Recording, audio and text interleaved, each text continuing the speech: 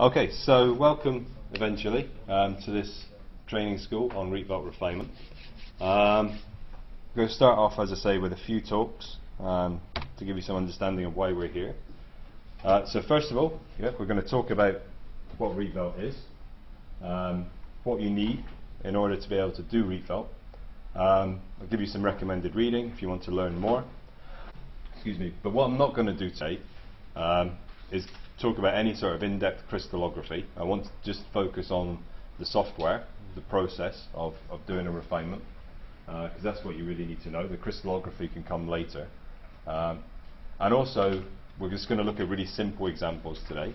Um, so some very basic examples, things that I know should work.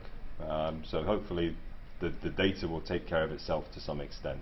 So you're not going to be really confused by um, difficult uh, refinements today. The refinements should be easy. The other thing we're not going to cover today is your samples. Um, everyone comes often with their own data set thinking, I want to refine this data today. We're not going to do that. We're going to stick to the examples that I've provided for you, things that I know should work. Um, so you can use the software um, without having to worry about things going wrong too much. Things will go wrong today, and there are places in in the process that we go through today where they are deliberately going to go wrong for you, um, so you can learn from that as well. Okay, so as I say, we've got a mixture of uh, short lectures. None of these talks, I imagine, will be longer than 15 minutes. There might be a couple bundled together, but they'll all be very short. The focus is on hands-on experience, getting you guys using the software so that when you walk out the door at the end of the day, you'll be ready to start doing refinements on your own, refinements on your own samples. Um, you might need support with that, you know, obviously, but uh, you'll have the basic skills that you need. As I say, if you do need help today, as we're going through the worked examples, just put your hand up. Um, Whitney and I will be here to help you. But also talk to your neighbours as well. Talk to the people around you, because quite often that will be quicker. And especially if you look at the person next to you, and they're further on than you, they might already know the answer to your question. So peer learning will be great as well. We've got a lot to get through today, so um, you, you, guys are going to have to crack on and, and, get stuck in. As I say, by the end of today, uh, you should understand what Rietveld refinement is, and how it can help you, uh, and how it can help you in, in, your research problems that you come across in your projects. Uh, you'll know where to find the software, where to get help, support as well. Um, you'll be able to carry out, as I say, at least basic refinements for single and for multi-phase specimens. A lot of people are interested in quantitative phase analysis here. Uh, we'll be able to do that by the end as well, as, as just a simple single phase refinement. You'll be able to judge what the software has given you, um, know whether or not it makes sense, um, understand all the statistical outputs that the software gives you, what they mean, when you should listen to them, and you'll have an idea of strategy, the tactics, how to approach a refinement for a, for a given problem. So, um, hands up if you're on the Echo 360 thing following this through. Great, awesome. I'm going to start off just to give us an idea, uh, an interactive thing. Uh, there's going to be quite a few of these today. It's one of the advantages. This Echo 360 um, is getting rolled, rolled out across the campus this year. So we're going to be using this in all our lectures next year, or some of them anyway, all of mine. Uh, so what you need to do here, um, when you see a question like this, is just press on the answer that you like, um, and then press the submit button. That's the thing everyone forgets. And these questions were initially were just to help us, Whitney and I, understand what the level of experience is in the room. Uh, but later on, they'll be to help revisit key topics and, and to help you improve your learning uh, as we go along. So we've got 10 submissions so far. We'll give it another few seconds. Also, the feedback at the end. Um, I've got normally give out a feedback form. All the feedback will be done in this software as well. You don't have to wait. You can click on uh, in your slides as well. Uh, if you want, there's another question coming up. Uh, so I'm going to close this now. Someone just snuck in before that. So if we look at the results here. So the question was, how much experience do you have of diffraction techniques? Uh, one person said none. I'm guessing that's Laurie. Yeah. yeah. Who's just starting his PhD yesterday? Today. Monday. Okay. So um, that's a fair comment. Um, we wouldn't expect you to have too much, but don't worry, I'm going to give you a, a basic overview, hopefully. Uh, a little bit, 11 people, and no experts. Okay. Click on to the next question. Uh, how much experience do you have of Rietveld refinements, Rietveld analysis? You've never heard of it before, none but yourself, but you have heard of it. Uh, you've got some experience, or loads you should be given the class. Uh, which is it? We've got 16 already. Awesome.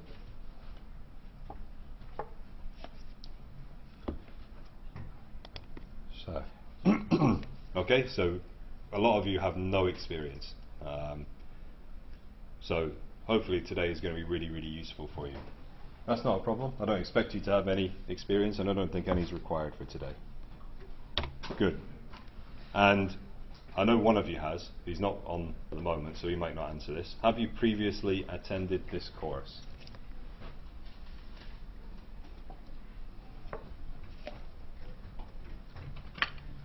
no. Okay. So a lot of people do come back and do this course again, and that's fine. Um, but none of you have, so I, I, know now that I'll need to go through the notes and how things are, are going to work because people are often a bit surprised at how this works out. Okay, so let's have a review of what diffraction tells us.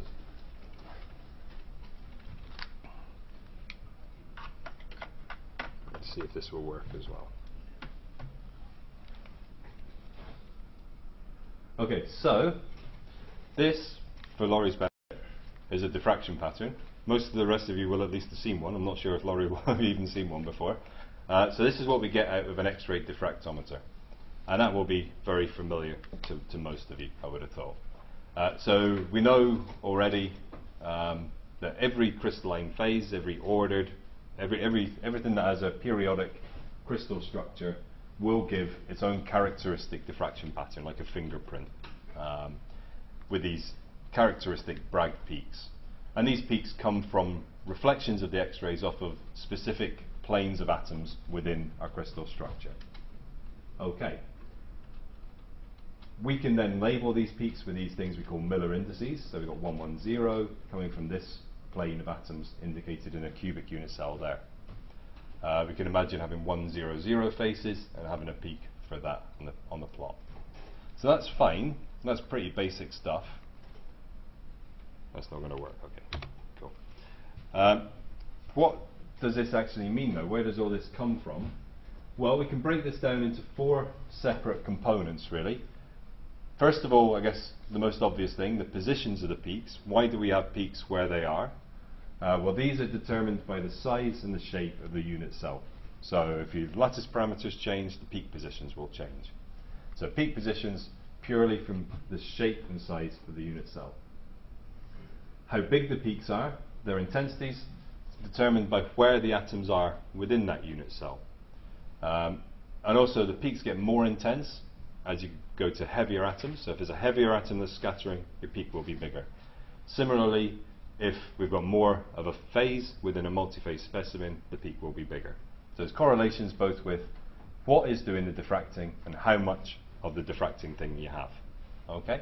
And that determines the intensity of the peaks a very simple level. It's much more complicated than that. Uh, the widths of the peaks, the shapes, tell us a lot of information, particularly about the size, the crystallite size of our sample, and any microstrain effects that we've got within the crystallites in our sample. So peak widths are really important as well. And then finally, we might have oscillations in the background that tell us about short range uh, ordering, short range information about our our material. This is more covered in something called pair distribution function theory. This is not something that many of you will, will probably have done, um, and that's pretty complicated stuff. In terms of what we're going to do today, we'll pretty much ignore everything that's in the background, but we will cover it a little bit later on. What we all do here is powder diffraction. Excuse me even if you're looking at a metallic sample, we're still interested, excuse me, in uh, the grains within that crystalline uh, metallic sample, within that bulk sample. in an ideal world, we would be doing single crystal diffraction. Single crystal diffraction gives you a lot more information. And what you get here on the right hand side of this slide shows you, for the same sample, the overlapping data. The blue rings are, I always get this confused, the reds, yeah, the blue rings are the data from the powder diffraction, and the red spots are the data from single crystal diffraction experiment. So what you can see is if we obviously if we do diffraction in the lab, we've only taken a two-dimensional slice. So all we do is scan across one part, one line through this powder line. So we get one section of these overlapping blue lines. So with single crystal diffraction, it's really good because we see every reflection from the sample. We see all of the peaks. We get all of the information. And there's no overlap. They're all discretely separated out. If you've got experience of electron diffraction, you're used to that kind of phenomenon. You see a lot of information. But when we move to powder diffraction, this gets condensed and a lot of these individual spots start to overlap. So for example, indicated here with these black arrows are four discrete separate reflections in the single crystal data. But when we compress that down into two dimensions for the powder pattern, we just see a single peak. We see a single line. So we lose a lot of information when we do uh, powder diffraction work. We can't determine the intensities of individual reflections unambiguously in all cases. If we want to understand all this stuff I've just told you about, all the crystal structure information, the crystallite size and all of that, we're going to need to be able to model these peak positions, the peak intensities, the peak shapes, really, really well to account for this loss of information that we've got in powder diffraction. Uh, if you want to learn more about that, uh, there's a whole paper here that you can refer to which has this, this diagram in more detail.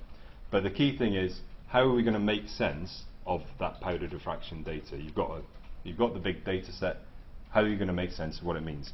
And it comes down to a need to model the peak intensities and shapes really, really well. So, what, what is Rietveld? Well, this is Hugo Rietveld. He came up with this method, and basically, it's a computational technique for crystal structure refinement that deals with this problem of overlapping intensities. It was developed for use in the diffraction analysis of powder samples and he came up with it in the late 1960s, 1970, somewhere about there.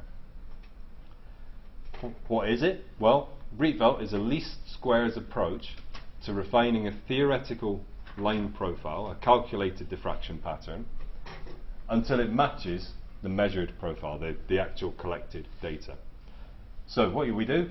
We take a starting theoretical model so we take a model of a crystal structure or more than one crystal structures It's a multi-phase sample.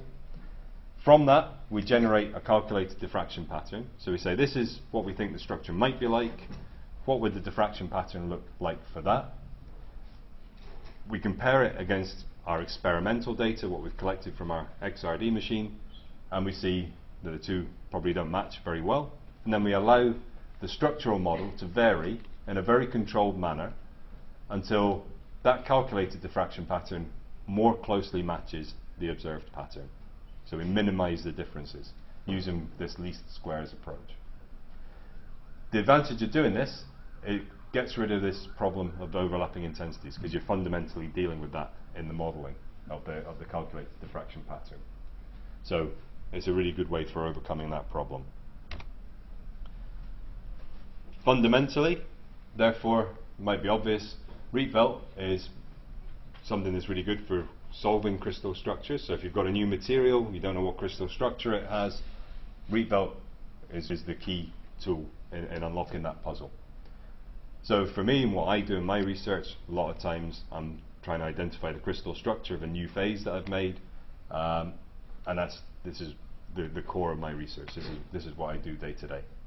But it can do a lot of other things as well. Uh, a lot of you are here for quantitative phase analysis.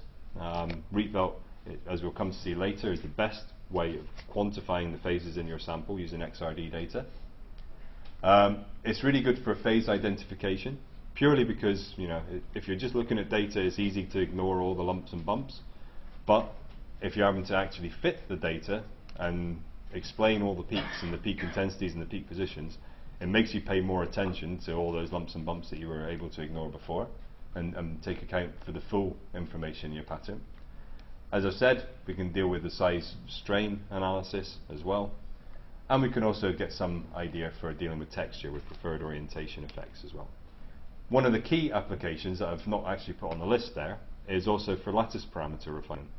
Um, it's something I don't think I deal with very well on the lab website for data analysis uh, because I'm always planning to get around to putting something like this on there. Um, but when I come to refine my lattice parameters, Rietveld is what I do. I might do a Le Bail fit, which we won't talk about too much today, or I might do a full refinement, depending on the situation. But Rietveld is a quick and easy way of getting to that lattice parameter information. So that's well worth bearing in mind. And I will remember to put that on the slide for next time. Um, okay, so what do we do in Rietveld? Uh, normally I have nice animations on this slide, which talk you through it. Uh, so we need a whole bunch of things before we can do a refinement. Obviously we're going to need some software to do the, the calculations in. Uh, but we also need a bunch of things as well. We need to know about our instrument. We need to know how it's set up. Effectively, what a diffraction pattern for an ideal sample would look like from that instrument.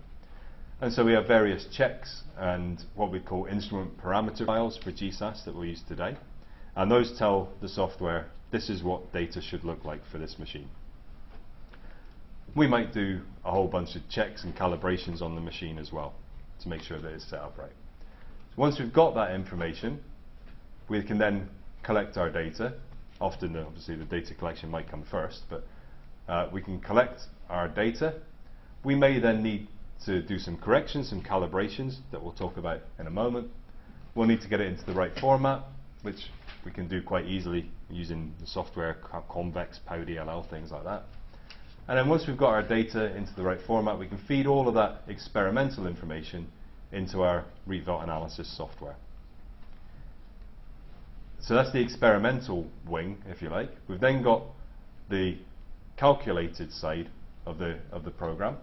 So we're going to need crystal structures. And this is obviously, well, it, often this is going to be a big challenge of, it may be that it's really straightforward. But we're going to need to know, or have an idea at least, of what the crystal structure of the materials is, uh, the phases is, is in the material. So there are databases, obviously you can look at papers, look up the literature, see what that tells you. Uh, but we need a starting point. We need to know space group, lattice parameters, atomic positions. As I say, you might be able to go to the database. If you're working on a perovskite, there'll be loads of perovskites in there. So you can find something that matches really well and use that as a starting point. Same, you know, there's a lot of my students here today. All of your projects will have my work in the background, so there will be crystal structures there for you to start with. So in that case, if you've got a starting model, it's very straightforward. You can just proceed straight away. That will give you your theoretical structure. If you don't have that, if you're working on something that's never been studied before, um, then this could be the biggest part of your project. Coming up with this maybe using ab initio techniques that we're not going to talk about today, um, sort of Fourier analysis, trying to find missing atoms in a crystal structure. This, th that sort of approach where there isn't that background there for you to draw upon could be the biggest part of your research project. It could be a year's work coming up with that. Maybe less these days because computers are a lot faster, but um, coming up with the theoretical starting point, the theoretical structure is a big, big challenge. Once you've got it though, you can then feed it into the analysis. And so once you've got your data and your structure in there, we do a refinement, we allow some parameters to vary, and then we feed those refined parameters back in and refine some other parameters, or refine them again. And we keep going iteratively until eventually the changes are very minimal, until the things aren't, we, we're refining parameters and they're not really changing anymore. The differences in the calculated and the observed data have been minimized. And at that point, we have our final refined crystal structure or structures. So that's the, the basic workflow for, for what we do. You'll see this as we go along in a lot more detail. Uh, what do we need? Well, in order to do Rietveld, we're going to need obviously some data. So we'll talk about what that means in a minute. Uh, we need good quality data, whatever that means. Uh, we're going to need a computer, obviously. And the software we're going to use today runs on Windows, Mac, and I think Linux as well. We're going to need some software to do the Rietveld refinement. There are three main packages uh, that one might use to do a full, proper Rietveld refinement. You might see other things like Jade and HighScore Plus, where people say can do Rietveld. I, I would never touch those. The three that you use would either be GSAS, FullProf, or TOPAS. Um, which one you use depends really on where you come from. Have we got any native Spanish speakers here? Not sure we do. No? If you're from Spain, you'll probably use FullProf because the guy that wrote that is Spanish. Um, so that's, that's quite a common one. You see a lot of people using that. Um, probably more, as I say, Spain, maybe within the EU uh, as well. FullProf is quite popular. Uh, the one we'll use today is GSAS, um, which is written by an American. So if you speak English, you'll probably use GSAS. Um, GSAS has been around for decades and uh, is very widely used. There is now also GSAS 2, which is being phased in to replace GSAS. Uh, I don't like it yet, so I, am not using it, but I need to get to grips with it at some stage. And then there's also TOPAS, which is the commercial software that uh, Bruker release. Um, it costs a lot of money for a license for TOPAS, about £20,000. So if you work in industry, you might use TOPAS. Uh, we'll have a little bit of TOPAS later on, um, because we do have TOPAS actually. When we bought the D2, they gave us 10 licenses for TOPAS for free, which is quite remarkable. Um, and TOPAS is really nice, so that's, that's another option for, for your Rietveld needs. As I say, we need a starting point. We need some sort of crystal structure to begin. Even if it's not a complete crystal structure, we need a starting point. And we need some chemical common sense to know what is reasonable, um, to be able to judge what the software is telling us. As I say, we're going to be using GSAS today. Even if you go onto TOPAS, I think GSAS is a really good starting point because it makes you think about what you're doing as you're going along. And we're going to be using something called EXPGUI, um, which is a Windows interface. GSAS has been around probably for 20, 30 years, and it's a horrible DOS-based program. Um, you have to know the commands to get through all the nests of menus. It's really horrific to use. That's what I learned with. Um, and it used to be literally like press a button, wait for a minute, press another button, wait for a minute, press another button, wait for a minute, do the refinement, wait for five minutes. We used to be really, really slow. So they came up with this EXPGUI, which is a Windows-based interface. Makes the whole process a lot easier. Plus, um, computers are a lot quicker these days. Um, there's another add-on for it called CMPR. We won't cover today, um, but you might want to look into that as well. It can be quite a handy thing tutorial videos, um, a lot of what I know, well, I'm entirely self-taught on using GSAS. I didn't have any courses. Whitney, I think you're the same. Um, these videos, the APS website, are written by uh, Brian Toby. Is that right? Yeah. Brian Toby, who wrote EXPGUI. So you, you kind of hope he knows what he's doing. They're a bit dry, in fairness, but he is the expert at using the software and they cover the whole range of things you might need to do. So if you are stuck and you want to learn more, I would I would recommend if you well, if you're doing Rietveld, you need to watch those videos. Put aside half a day and watch the videos. Really, really educational. The GSAS manual um, comes with the software. I would say it's possibly worse than useless. Um, it's kind of very high level uh, stuff. So yes, refer to it, check it out, but it's not necessarily great. CCP 14 website, there's loads of guides and tutorials on there. It's discontinued now, but the website is still there, so there's a lot of good help there.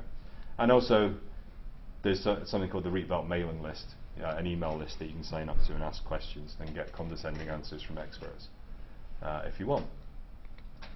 Uh, books, I'm not going to dwell on this. Um, there's a book by Young called The Rietveld Method. Uh, first chapter is really good. I've never got beyond that. Um, there's a bunch of other things I'll refer to as we go through here um, that might be useful, and some papers as well. And again, if you get into Rietveld, I'd recommend you read all the papers at least.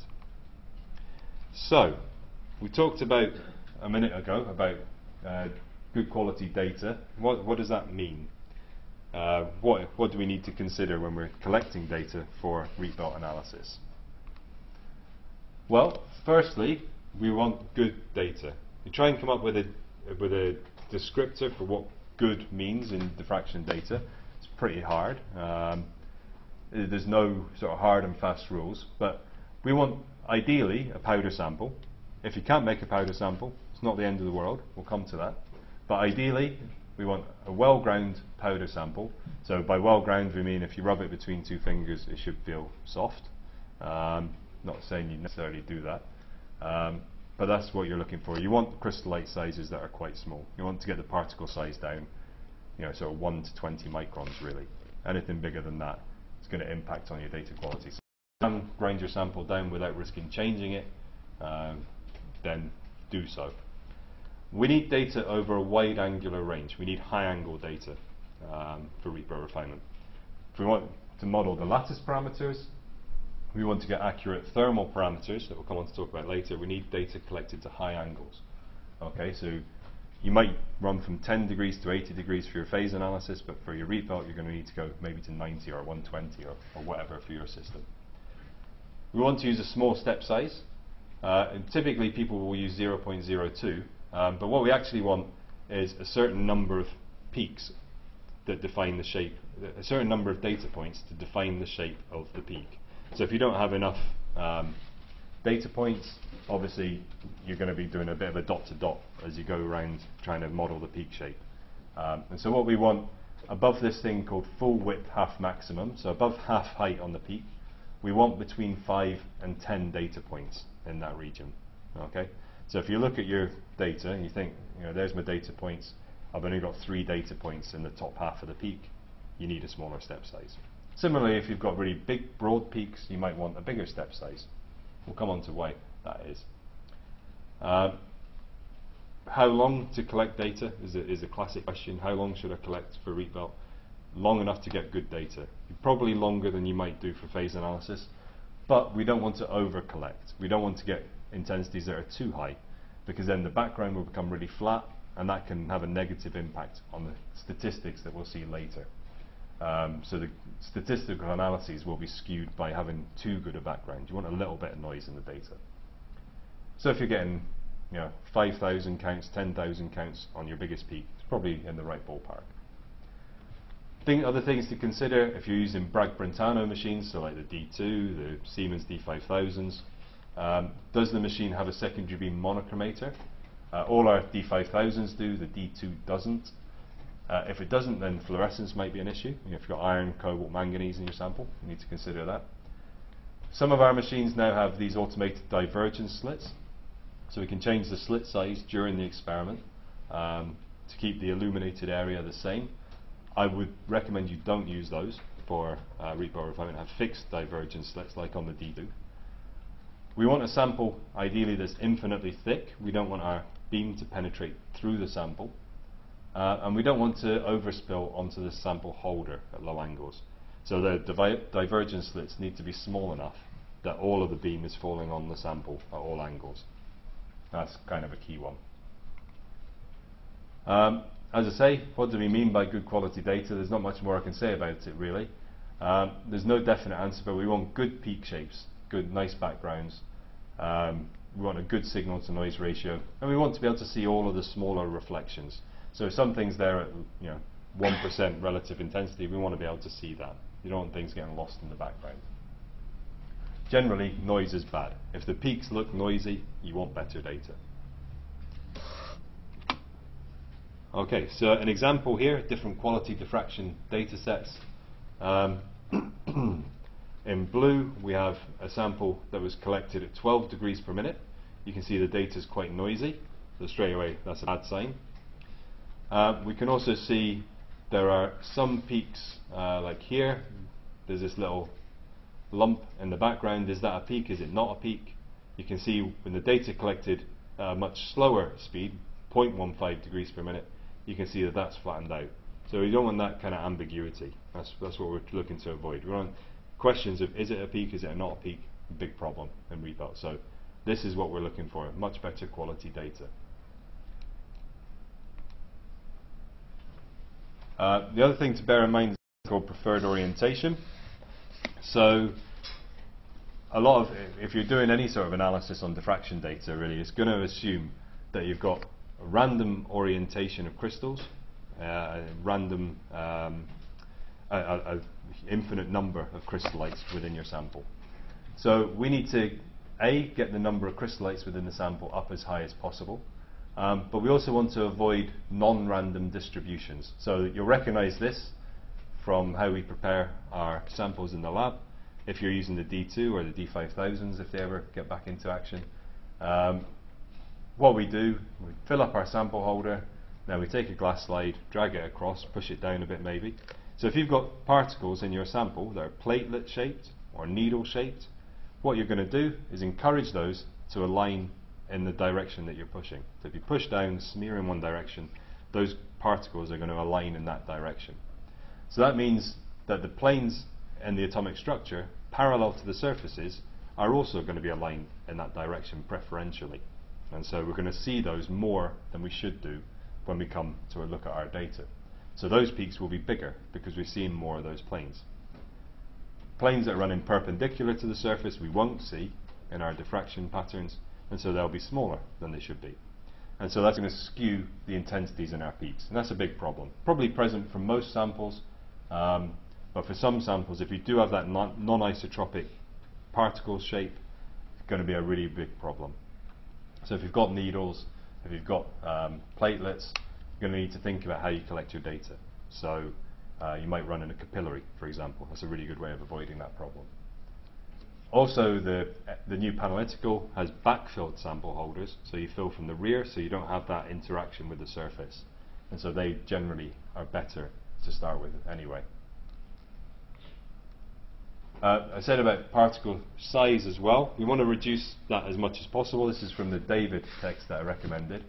And so what they were doing here, they were looking at a single reflection from a quartz sample, 113 peak, using copper radiation. And they made samples with a bunch of different crystallite sizes and just ran them exactly the same diffraction experiment again and again. What they saw was if the particle size was between 15 and 20 microns, which we would probably think is a pretty good sample, a, a good surrounding. Um, they found the peak intensity varied by 18%. So running it once, running it again, the peak intensity might vary by 18%.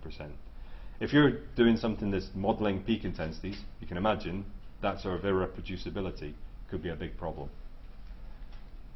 If they get it down, so or a broader range, so it's got some smaller but some bigger particles, 5 to 50, that dropped to 10. 5 to 15 microns, the peak intensities are much more reproducible, so the window of the peak intensities get much smaller.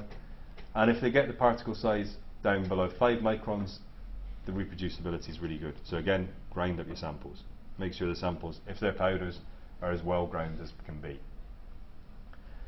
Also, in terms of intensities, particle size has a big effect. If we've got 40 micron um, particles, this, I think, is for, I think I recalculated this for the D2 sample holders. So if you've got a 40 micron particle size in your sample, you fill up the D2 sample holder, you'll have around about 600,000 crystallites within that volume in the, in the sample holder, which sounds a lot. But the number that will be meeting the Bragg condition, any one angle, will be 12. So you've got 12 crystallites contributing to all of the diffraction probably the X-rays are only penetrating into the surface of those crystallites, probably penetration depth is going to be 10 microns or so in many samples. So you can imagine that's not a situation that's going to give you good intensities. You've got very few crystallites contributing, um, and it, it is very inefficient. If we reduce this particle size down to 10 microns, we've got a lot more crystallites in our sample holder, Well, it's at 38 million I guess, um, of which 760 will be diffracting. So you've got more crystallites diffracting, you'll get bigger peaks in your diffraction data. Get it down to one micron, we've now got a huge number of crystallites, 38,000 diffracting. So if you're looking at your data and you think, I mean, I've collected this overnight, or if it's had a long exposure, the data's still really noisy, try grinding it up more. Has a big advantage. You can see a real example of this on the site as well, someone contributed. Uh, it makes a huge difference. So if you've got powder samples, really do make sure they're well ground. It makes a big, big difference.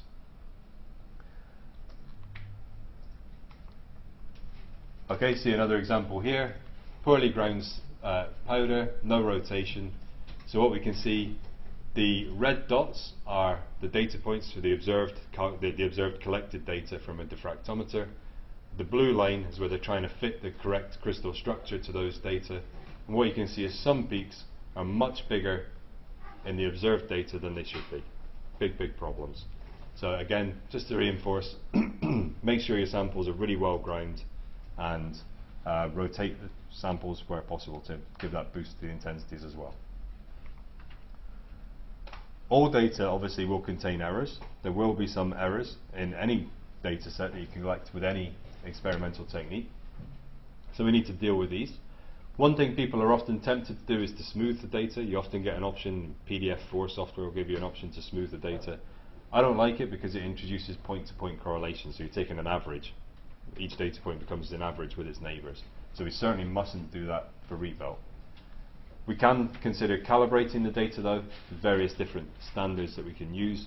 I've just ordered some more uh, silicon, so the NIST SRM will actually become 640E in our lab. But this is a material where we know exactly what the lattice parameter of that material is. So we can run the standard on the machine, see where the peaks are. We know where they should be, because we know what the lattice parameter should be. So we can then correct our data using an algorithm created from that difference. So we might use silicon, we might use mica if we've got particularly low angle reflections. Um, it doesn't matter as long as you know exactly what the lattice parameter is. You can do an external standard, even better if you can do an internal standard. Mix the silicon in with your sample and then you can cor correct it for that actual data set.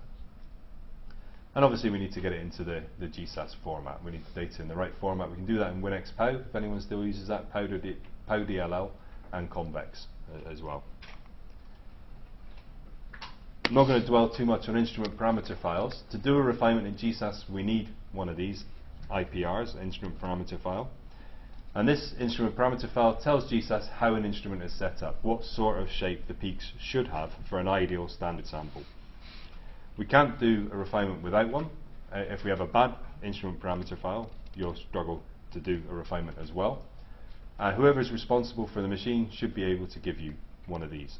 So if you're using our machines, go onto the lab website on MOL, you'll find under the machines each machine has its own folder. In there will be an instrument parameter file for GSAS for, you, for, for that machine. If there isn't, let me know and I'll put one there.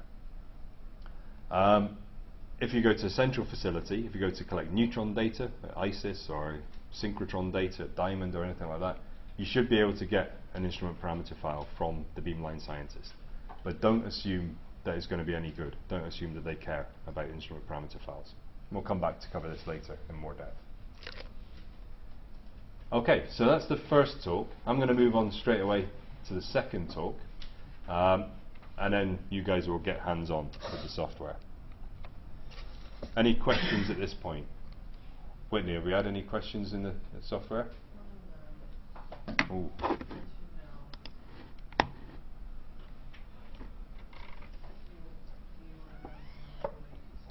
Pole figures, no. Um, we can model.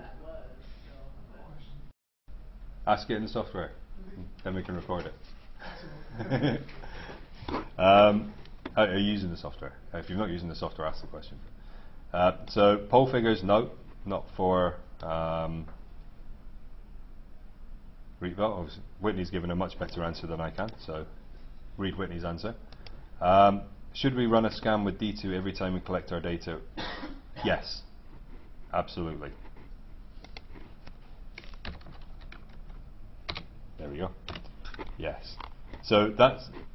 Oh, I can't scroll down. I haven't got a window to scroll down. Whitney can type in what yes. Um, so yes, we should. So the errors will be different. If you come on a different day, the temperature of the room will be different. The temperature of the cooling water in the machine might be different. The position of the X-ray line might vary as a result. Um, you might have prepared the sample differently. It might have a slightly different height. The machine might have been recalibrated. Alignment might be different for all sorts of reasons. Um, if you're collecting data for a Rietveld analysis, the Standard should be run on the day. Ideally in the sample, mixed in with it, if the peak overlap isn't going to be problematic. Otherwise, um, it should be run immediately before. Uh, so you run the standard, then run the sample. But as I say, um, That's not necessary for just phase analysis, 'cause you would then be Sure. Yeah, yeah. So the the yeah exactly. You only need to run a standard if you want to get accurate lattice parameters. I I would say That- that's that's the key thing. If you want accurate lattice parameters, you need a standard for the peak positions. Uh, why do we use the term reflection? Because it's reflections off of a lattice plane that we're considering. It's purely analogous. It doesn't really work like that. There's no such thing as lattice planes um, in real life, but that's the analogy that Bragg's law works on. So that's why we use reflection. Okay, good. Good. Oh, we've got a confusion slide as well. I'll come back to that. So, some interactive things now to wake you all up. Uh, if you're going to collect data for Rietveld analysis in GSAS, which of these things might you need? There are more than one correct answer. There is more than one correct answer.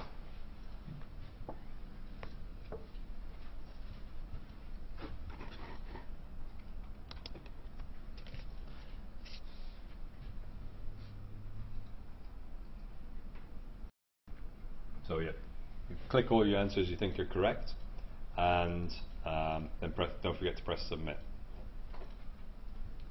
Someone changed their mind.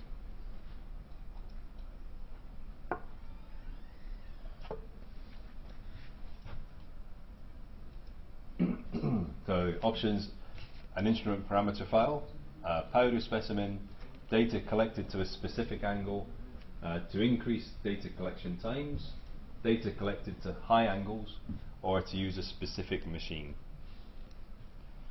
Let's see what we've got. See how bad it is. Okay, good, interesting. So, um, if I press close, will it show us? It won't show us the right answers. Okay, so the correct answers were A. You will need an instrument parameter file. So most of you got that right. A powder specimen? No, you don't need to. It's ideal. Uh, powder specimens are better. Um, not, I'm dissing metallurgy in general, but a powder specimen is the ideal. If you don't have a powder specimen, you can still do Rietveld. That's not a problem. Data collected to a specific angle, no, we don't need that at all. C is wrong. D, to increase col- data collection times. Absolutely, that is something you might need to consider. Um, so it's interesting, most of you didn't click that. D is something you very much might need to consider. An hour or 10 minutes on the D2 or you know half an hour on the expert might be fine for phase analysis, but you might need an hour. You might need to go a bit longer um, on the D2. Uh, data collected to high angles, yes, again. Um, you'll need high angles, as we'll see later, for uh, accurate lattice parameters, thermal parameters. And good, to use a specific machine, no. You can do Rietveld with data collected on any machine, um, by and large. So the correct answers were A, D, and E. Okay. Uh, if you want to collect data for belt analysis, is the particle size in your sample important? And if so, what size should you aim for? As small as possible, less than 50, less than 250 microns. Crystallite size is not important.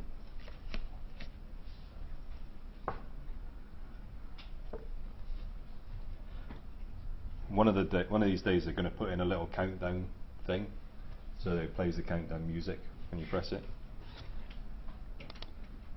As small as possible, spot on. Um, obviously, if you're grinding your sample, if you're grinding the powder up, you might be putting heat into the sample. It might cause some chemical changes, so or it might cause contamination with your milling media.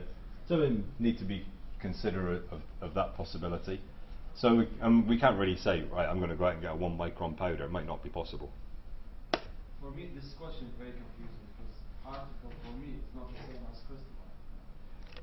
No, that's that's true. Um, what we're measuring in diffraction is crystallite size. Yeah, so. So crystallite could be the smallest coherently scattering domain. So the particle could be any size. Yeah. But the crystalline should be as small as possible. So yeah, if you if you've got agglomeration, we want to try and break that up. But yeah, what we're what we're looking at is in diffraction, it's not the, the particle is the, it could be a domain within a crystallite even. Yeah, exactly. Um, but yeah, if we grind our samples up, we're going to decrease all of those things hopefully. So the point is, is the question should, be, is the crystallized size in your sample important, not crystal particle. Okay, I will concede that point to you. um, yeah, I had a guy yesterday come to me uh, and he said, oh, I've passed this powder through a 250 micron sieve. Oh, yay. so what? It's not, really going to do anything for diffraction. If he passed it through like a 10 micron sieve, I might get excited. Um, but yeah, just do what you can to get the crystallite or particle size down. Um, okay, so second talk. How applicable is Rietveld modeling XRF data? Not at all. Um, XRF is a completely different technique, so it's not going to help us at all in modeling XRF. It wouldn't recognize XRF data. We can I can understand why you would ask that, but no, this is just for diffraction data, X-ray diffraction, neutron diffraction. Good. Um, so, solving a crystal structure. So we've, we've kind of danced around the edges, talked about thinking about Rietveld. Let's start getting down to action. So we're going to look at theoretical models, refinable parameters, whatever that is, um, and how we start and monitor a refinement.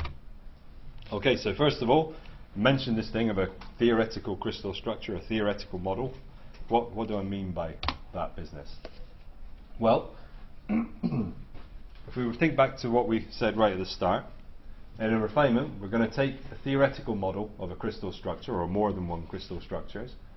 Uh, we're going to then generate a calculated diffraction pattern from that, and then we're going to allow the structural model, this thing we've come up with in step one, to vary in a controlled manner so that the calculated pattern more closely resembles the observed data. So the first thing we need, therefore, is going to be that starting theoretical model of the crystal structure. So what information do we need? As I said earlier, this can be a huge challenge. If you're looking at things that have been studied or analogous things that have been studied, um, great. You've got a really good starting point. Probably you can just go online and, and get things straight away. Otherwise, you know, you're going to have to come up with this information for yourself, and that can be tricky. What we need to know, space group, and for some space groups they have more than one choice of origin. Don't worry too much about what space groups are. I'm not going to cover crystallography in this uh, course at all, but the space group basically defines the symmetry within the unit cell, so it tells us where the atoms can be uh, within that unit cell. So we need to know the space group, the lattice parameters. Obviously, you might be hoping to get lattice parameters out of this process. Um, but we need to have the peaks roughly in the right place to start with. So we'll need to start an idea of what the lattice parameters might be. But that's something we can come up with on the fly a little bit. We can, as long as we're in the ballpark, we can we can fudge it. But we need a starting point at least for those. We need to know, or we need an idea at least of the chemical formula, what the material is. Is it LiCoMnO4?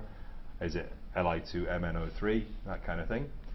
And then from the space group, we'll need to know which crystallographic sites are filled, at least one to start with. Um, well, that's the position of the atoms in terms of fractional coordinates, x, y, and z, where the atom is. Um, we only need to know for one, then the software can interpolate from the space group where all the other atoms will be. And we need to know how full those sites are. So if we've got a site, is it fully occupied by one atom? Is it occupied partially by different atoms, and so on. We'll come back to look at what that means. As I say, if you're going from this ab initio, you may not know all of this at the start. You might need to do electron diffraction to find out what the space group is. You might need to get uh, some basic refinements to find out what the lattice parameters are, that kind of thing. But for, for what we're going to do today, and for most of the samples we look at these days, we'll be able to make at least a good guess for all of the parameters we need. So generally, most people will find this straightforward. Where might you go for help? Uh, well, check literature, um, look at papers, talk to your fellow researchers. Um, there are a bunch of databases as well. So the ICSD is probably the main one these days, the International Crystal Structure Database. Um, while we're here, uh, I don't know, once we've left the EU, maybe it'll be different, but at the moment, we have free access to this. It's based in uh, Karlsruhe in Germany. and it's a big repository. Uh, I've not updated this slide for a couple of years. I would suspect it's a lot more than 120,000 entries now. Um, so lots of things that have been studied, reported previously.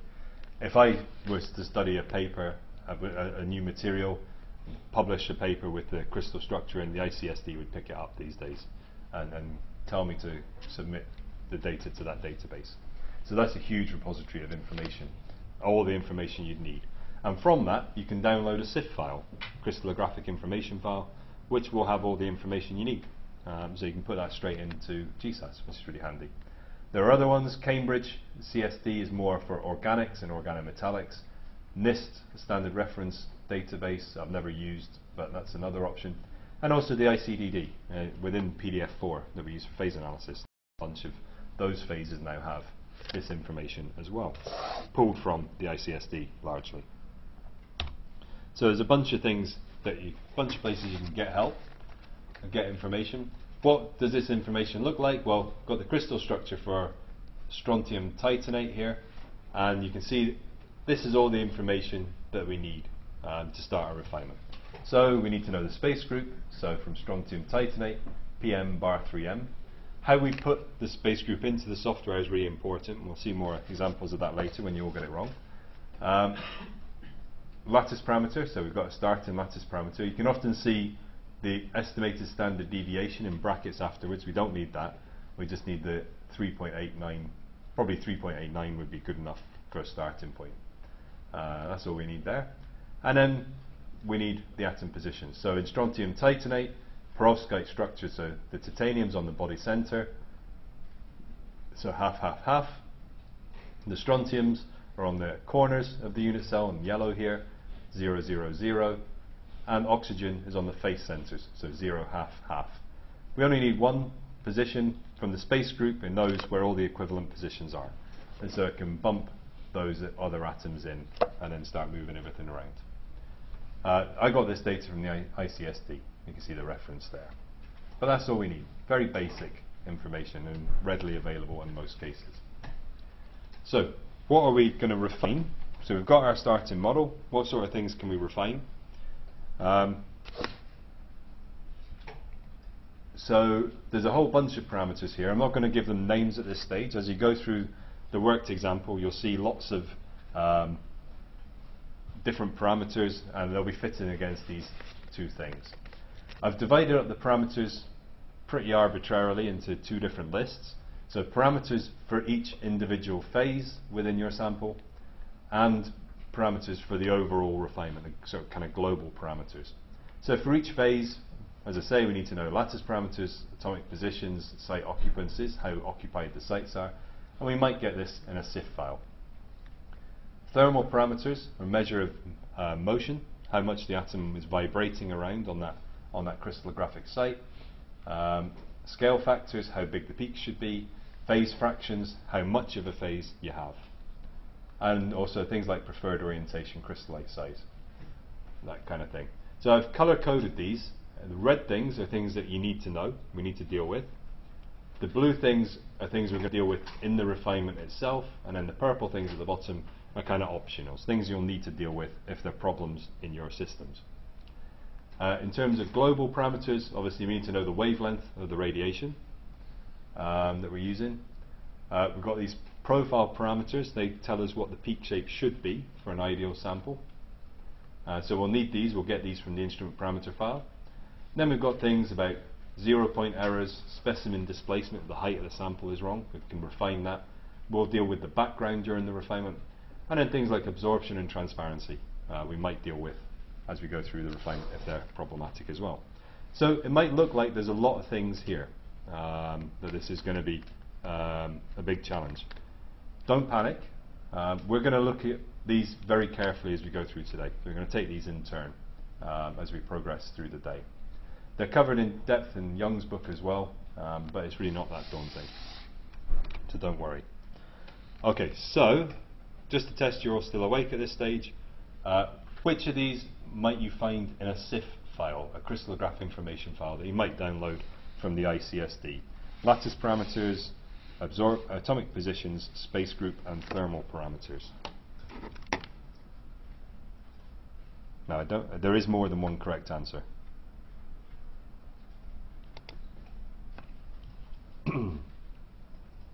I forget what the answer I set was.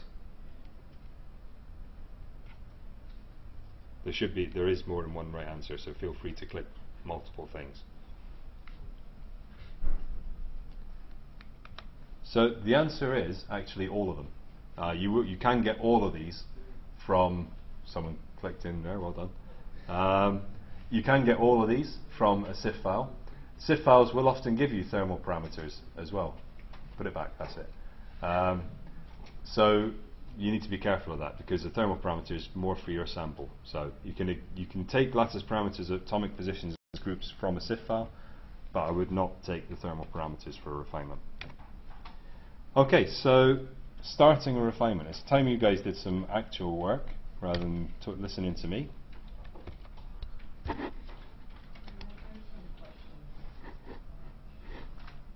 Have a look. Uh, 2 theta 0 is uh, like dealing with misalignment in the machine. So if the zero point is set wrong on the machine, the machine needs to know what 0 is, where 0 is. And if that's been set wrong, obviously your peaks will be shifted as a result. So we can model that in the, in the refinement.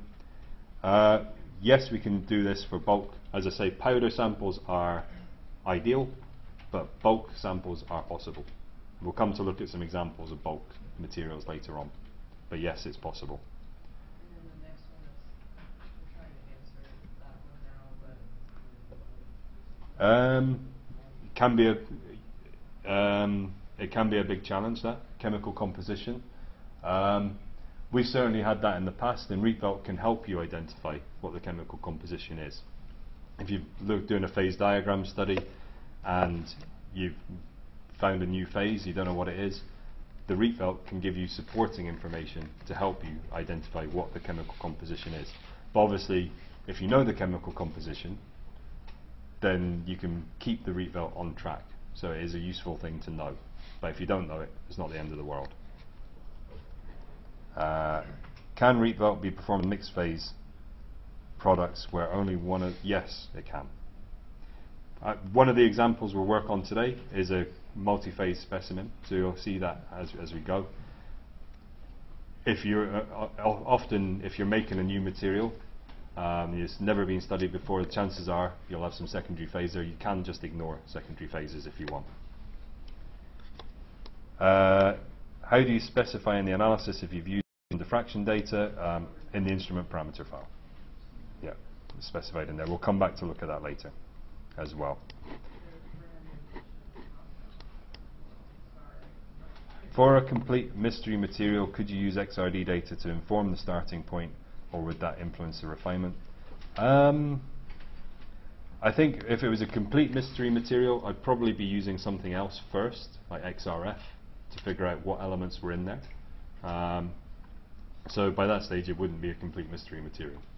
Um, I think, you know, at the end of the day, any diffraction analysis is not going to be a black box technique. So you're going to need to put something in to start with at the very least. Um, so I would always, elemental information can be really, really important. But it might be that you don't know exactly what something is. You know, it might be that you've got some sort of perovskite that's got five different cations in it. Um, you could start off dealing with it as a model perovskite, strontium titanate, and then deal with it from there. Uh, more info on thermal parameters, you will get it as we go. Okay, so let's crack on with getting to the actual point of today. The two guys that were struggling, have you got GSAS running yet? Mine's still okay. You're running? Yeah, yeah. You're good. Okay, awesome. So we've all got GSAS running. So what we're going to be learning today is this program called GSAS and EXPGUI. As I say, GSAS is a horrible old DOS-based thing, so it's based around these menus where you have to know exactly the right key to press at every point. Um, it's really complex um, program. It's horrible to use, um, and it can model multi-phase mixtures of up to nine different phases. So that's great. Um, that's lovely but we don't really want to use it because it takes forever and it's really hard to learn. EXPGUI is a graphical user interface for GSAS. So it's running all the same programs in the background, it's running exactly the same thing, but it uses a more modern user interface and kind of Windows-based interface that we're all used to. Uh, you can do probably all of the things you would ever need to do, bar a couple of things you might have to delve into GSAS.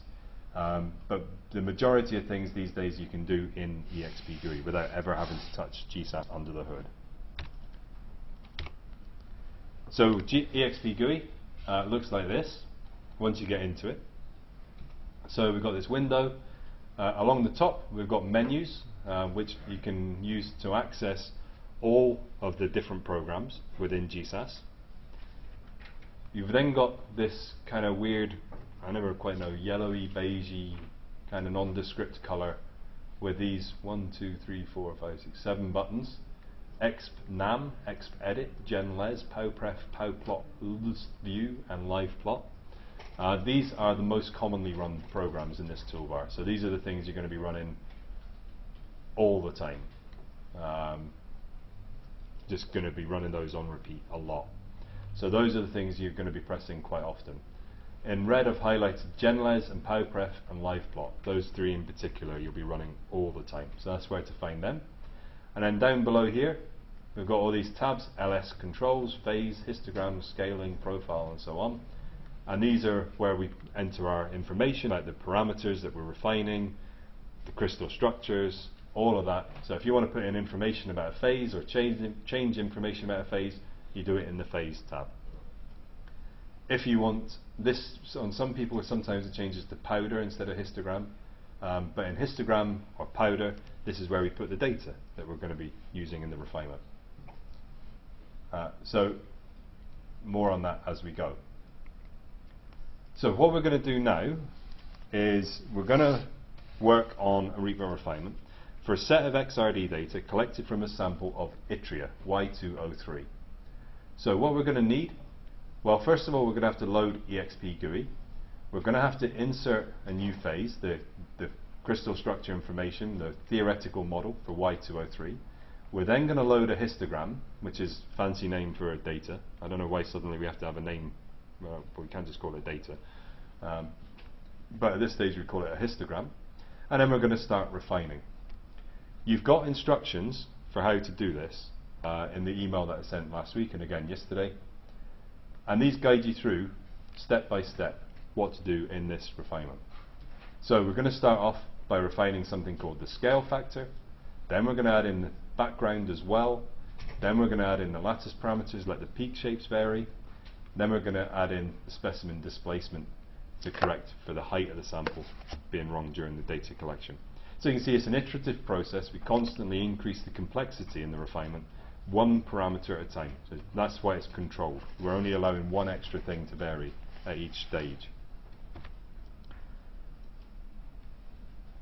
Let me just check.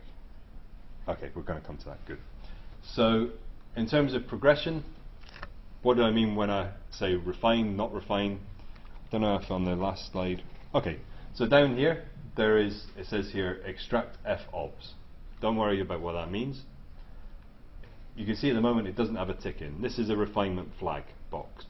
So if I wanted to do that, I would click on that little box and then it would do it in the next cycle. So in this example, if I want to refine the cell parameters, there's a box called refine cell this is when the flag is off. This is when I've clicked it to say the flag is on. If it's ticked, during the next cycle of refinement, that thing is going to vary. It's going to allow that parameter to change so that the data is modeled more uh, appropriately. So we set the flag, so we tick the box that we want. The instructions will guide you as to what boxes to tick. Uh, and once you've ticked the box, we generally run two programs, PowPref, which gets everything ready for refinement, tidies up everything, says where the peaks should be. And that's very quick. And then we run GenLes, this, or Generals as I used to call it. This is the least squares refinement program. So GenLes allows the parameters to vary. So that's what lets things change. That's our refinement process. When you run GenLes, a DOS output looks like this. By default, it will run three cycles of refinement, so allow the parameters to vary, feed them back in, it'll let them vary a bit more. feed them back in, and then it'll let things vary a bit more. And then it'll kick out this input at the bottom. So what we've got here, I've cir- circled in red, um, some statistics. We've got these WRP or, and RP values for the full fit and minus the background. So we keep an eye on those. We've got another thing that we call chi-squared, which we keep an eye on. Don't worry about the terms. Once you've done the refinement, we're going to come back and go through exactly what all these things mean. And then at the bottom, we've got two things that are interesting. Final variable sum, you can see here is zero. If the refinement is working, this number should get smaller, and when it's zero, it means nothing's changed. The refinement is finished for this stage. And below that, what we're looking for every time, this word or phrase, convergence was achieved. That means nothing's changing, everything's happy. That's what we're looking for. As I say, the instructions are going to talk you through this really close detail. So don't panic if this doesn't make sense at the moment. So what you have, you've got a copy of the instructions. I'm going to go through those on the iPad in a second. We've got two folders. So with this worked example 1, we're using the data that is in the folder WE1 that I emailed you. You want to put that on your computer. The pen over here. So, the WE1 folder, if you're working on your own laptop, put it where you want. You want to be able to find it. So I would recommend going C slash GSAS slash um, WE1, something like that. As I say, as long as you know where it is, it doesn't matter. If you're on the managed desktop, you'll need to be on the U drive with that folder. The only one you'll be able to edit when it's renting. So again, U GSAS WE1. So that's how it should look. So copy that folder to those directories. Your own laptop, C drive, managed desktop, U drive. Make sure you know where the data is though. Because obviously we're going to tell the software where the data is. Within that folder, you've got, within both of those folders, you've got two files. One is the instrument parameter file, one is the data file. Okay. After that, you follow the instructions. Really simple. Um, it gives you a step-by-step guide. It'll talk you through the whole process of the refinement, right from the start.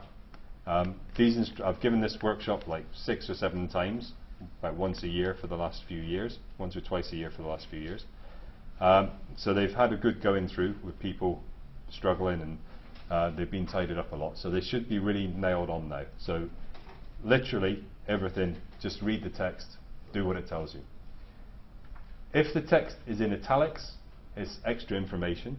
You can skip it, you can read it later, or you can read it now, it's up to you. If text is in bold, it's something that you have to do. A button to press in the software, something to click, something to run. If it's in a green box, that means that it's an instruction for worked example 2 that we're going to do this afternoon. Somewhere where the instructions are different, you need to do something different to what you do in worked example 1. Uh, as I say, you, you want to work on this on your own really, um, but do talk to your neighbours, do talk to the people around you and see how they're getting on, share progress, you know, discuss what's happening. If you've got a problem, someone next to you is already further ahead. You'll get used to seeing where people are in the instructions. Um, so if they're on step six and you're stuck at step five, ask them for help.